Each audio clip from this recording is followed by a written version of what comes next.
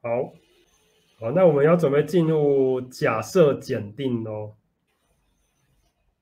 好，那这里其实这个部分哈，有大半都是文字的说明，但是我觉得我们必须要先呃稍微读一下哈这些呃文这些部分，我们才能够对这个假设检定有一个比较好的理解。好，那大家可以就一起切到这边这边来。好，那这个例，那这次的作业呢，我是看大家都有做出一个样子了，但是还是差一些些，哦，所以，所以，所以这次你们算是比起之前是稍微有些进步，但但但就是，不过就是就是说还还可以在，还就是有也看得出有一些假设检定的呃概念呢，你们需要再做一些澄清，好。那首先哈，我现在先呃，请大家看一下，嗯，看一下这个九点一点一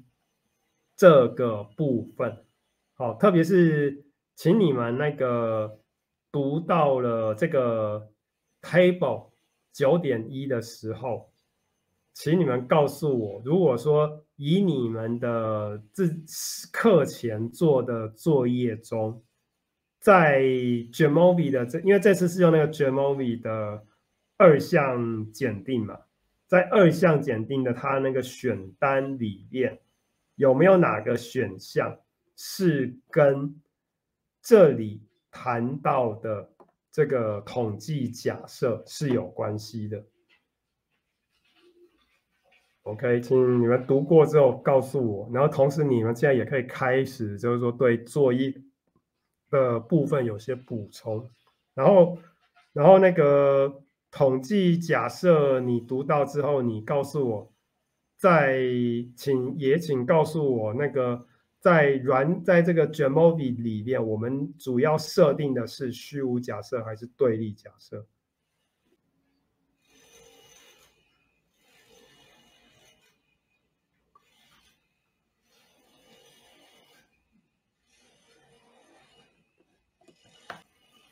好，你们现在那个可不可以就是我现在这个就是视讯画画面哈，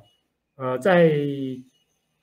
卷在那个卷毛笔里边有哪一个地方是可以设是可以设定统计，就是以那个 binomial 来以这个二项分配的模组来来说，它是要在哪里设定设定那个统计假设？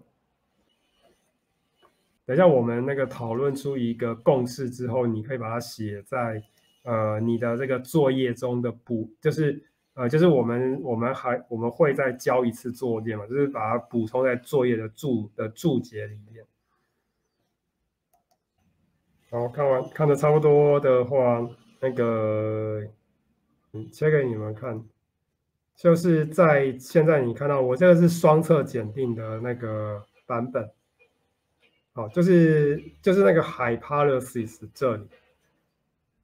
好，那统计检定跟那个，那这个统计检检定，它这边也有，它有讲到一个研究假设，你们能够区分出来是什么东西吗？就研究假设跟统计假设有什么不一样？哦，其实很简，其实要区分的话很简单，就就是这里。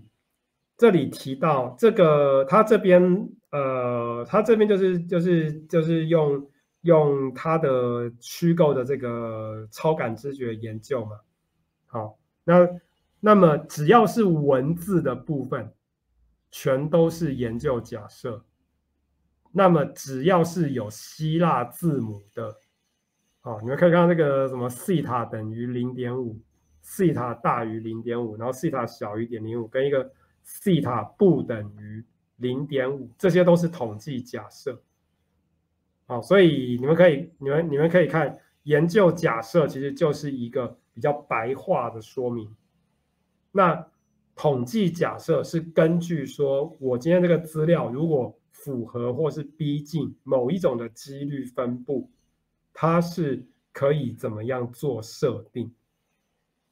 好，那现在它这个是，它现在接接下来它这个例子，它都是用那个西塔不等于零点五来去做示范。好，那为什么用它？好，那这个就是跟，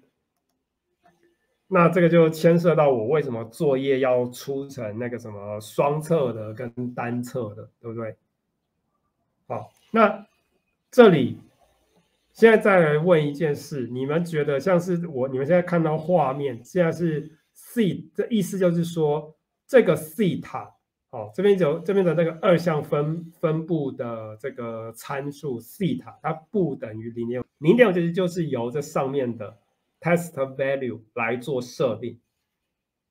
好，那你今天如果说怀疑觉觉得说可能是理论上应该是零点四或零点六，你只要讲得出一个道理，你这个 test value test value 要设多设多少都可以，只要是呃这个几率分布还有参数可以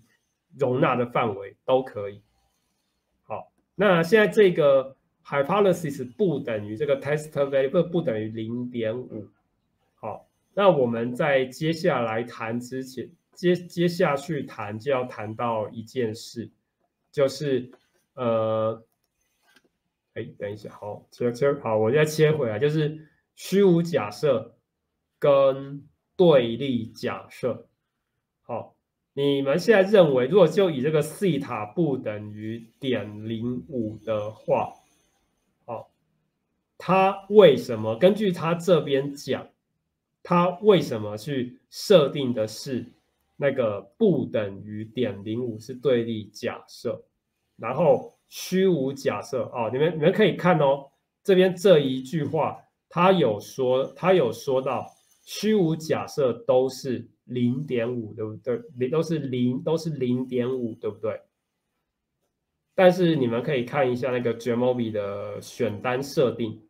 好，就是以这边来来来这边来看。你们看，它这边是不是都只有什么不等于、大于或是小于？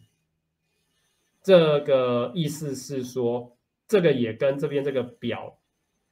它下面有有写到，它只有写对立假设的这个参数不等于什么或大于什么。好，那为什么那个？那为什么我们还要那么虚无？那么虚无假设呢？通常。呃，在这个报告中呢，呃，并不会很具体的，就是说写出说，呃，像现在这个教科书这样子写，就是说虚无假设的统计假设是西塔等于点零五，好，只有说我们理论上认为是西塔不等于零点五，好，不过他他，不过我觉得这个原作者 Danny，呃。讲这个虚无假设跟对立假假设讲的好像把它当成是像那个法庭审判这个比喻还不错，就是主要所谓的假设检定主要的功能就是看现在手上的资料到底是支持被告还是原告的主张，好，在这里那个虚无假设通常他他是把它当做叫做被告。好，那对立假设是原告，好，就是看现在手上的证据比较能够支持哪一方的主张，那这是就跟那个法庭审判一样，哦，所以现在是也也是有蛮多那个法律系也要那个学这个统计的原因也在这里，OK，好，因为这个那呃讲到这讲到这个呢，我们就会讲到所谓的决策失误。也就是 Type One Error，还有 Type to Error 嘛。好，那这个我就让同让同学自己去去看。那我主要要强要强调的是，在真正的这个实物取向，其实行一错误跟行二错误，通常也不会也并也很少有报告会呈现出来。报告比较多呈现的，就是比较多都都是呈现是稍后我们会讲到的 P 值。好，这个这本那个这这本书原作者他有 argue 这一点，我们稍后会看到。